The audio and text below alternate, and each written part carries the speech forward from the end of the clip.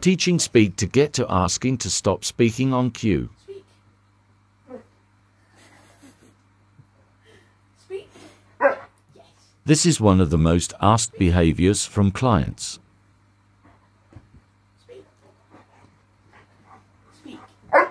They will say they have screamed at their dog, thrown bottles with stones in at their dog, used water sprays and worse. Speak. Yes. Speak. Speak. There's no need to punish a dog for communication. Good boy. Very good.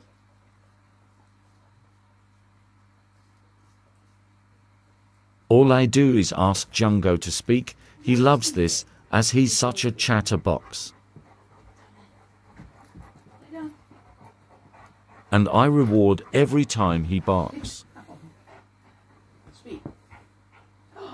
What do you want? Then, when I want him to stop, all I do is say thank you, which is our cue to stop barking and reward after a few seconds to reward for being quiet. I spaced a gap to give a break to differentiate between speaking on cue and barking to get the treat which works. Every time for Jungo.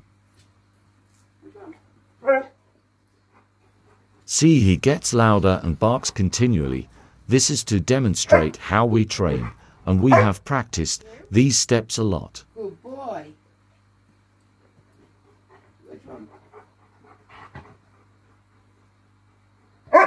Beginning to get to the speak is through capturing.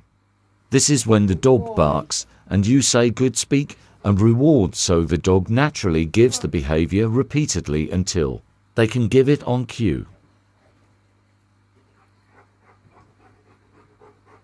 You need to be patient through the whole process of capturing and shaping the behavior.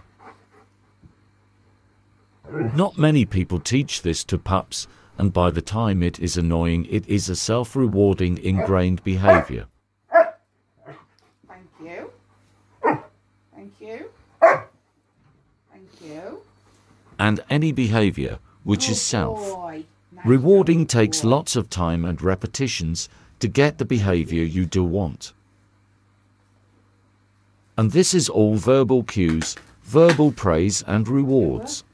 No aversives.